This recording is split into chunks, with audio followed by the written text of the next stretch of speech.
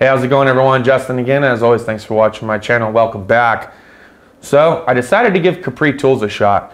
A lot of you have been asking me what do I think about them, how's the quality, uh, overall, if I was gonna buy something from Capri, what would it be? So today, you can clearly see behind me here, I have an 88 piece master bit socket set in metric and SAE. It's gonna cover our Allens, our Torx bits, and our E-Torx. Now I know for $50 cheaper, I could have gone with the Gearwrench Master Set. As I've never owned anything by Capri, I thought this might make for a good video, good opportunity for us to check out their 88 piece master set. This comes in at $175, again about $50 north of the Gearwrench set. I'll put both sets down below so you can see which sets I was kind of going back and forth on.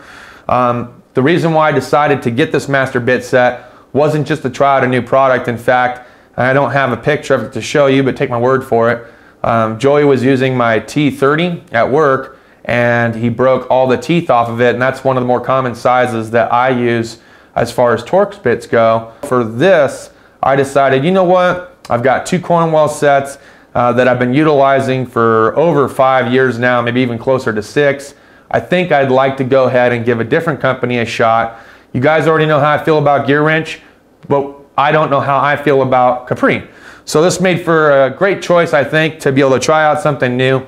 I also picked up this Lisle 65700 Triton spark plug extractor set. My buddy Dorito and the LuchaCabre, and I'll put his channel link down in the description.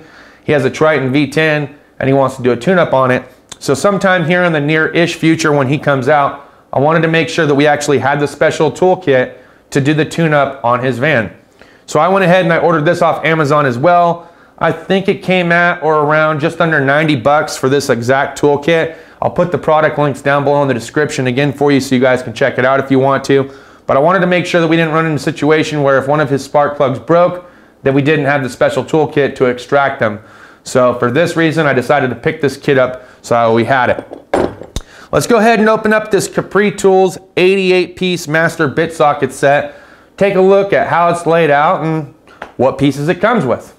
Okay, so again, this is the 88 piece master bit socket set.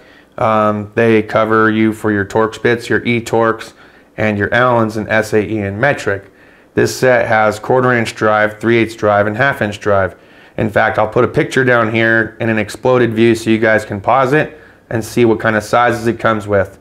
Okay, so first impressions, very nicely laid out. I like the way they start off with the metric, then move over to SAE, and then they move into their Torx.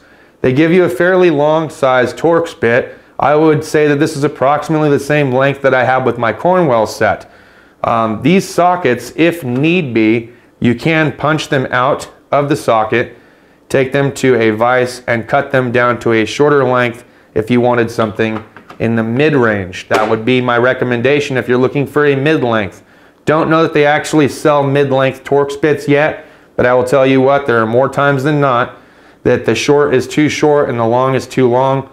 So for that, maybe not use your Capri set, but if you wanted to buy that Gearwrench set, I would definitely cut that one down to a mid-size length.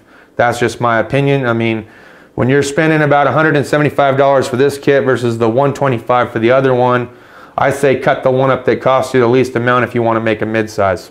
I really like the way they laid out this E-Torx. They have you start from quarter inch and work their way up to 3 eighths before going down to the half inch that's just down below. So for that, I like the way that that's laid out. And then they do the same exact thing with your Torx bits. You'll see here that they have T30, 27, 25, 20, 15.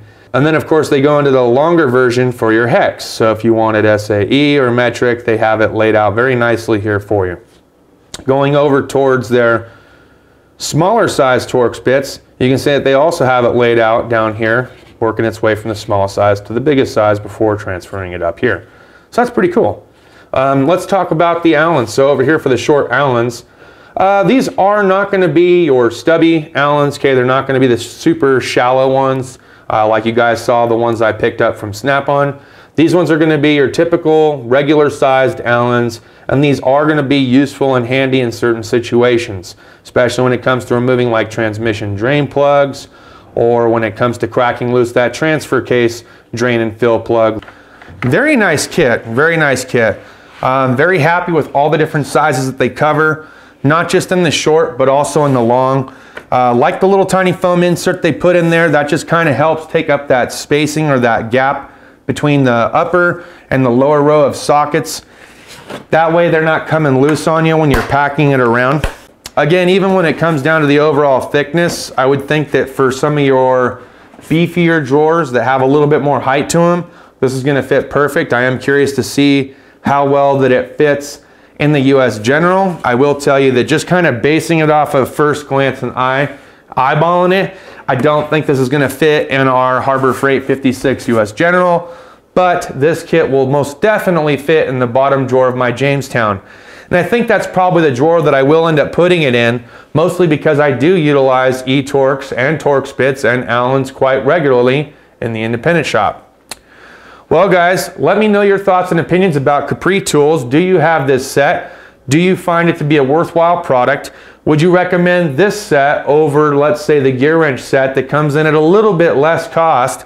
And if so, why? Do you agree with my opinion when it comes to cutting and resizing the mid-range size of longer Torx bits uh, with using a set that you didn't pay as much for uh, as you would something like this or even your Snap-on. Does Capri actually sell a short and stubby version of the Allen? I guess that would be another question for those of you that wanted to buy a stubbier Allen version. I'd be curious to know your thoughts and opinions on that set if they do sell it. Well guys, that's pretty much going to wrap it up for today's video. I hope you enjoyed today's content. Thanks as always for watching. Hit the like button if you like today's content the dislike if you didn't, share if you want to share, but share with me most importantly your thoughts about this product. Love to hear back from you. We'll see you guys next time. Cheers and deuces.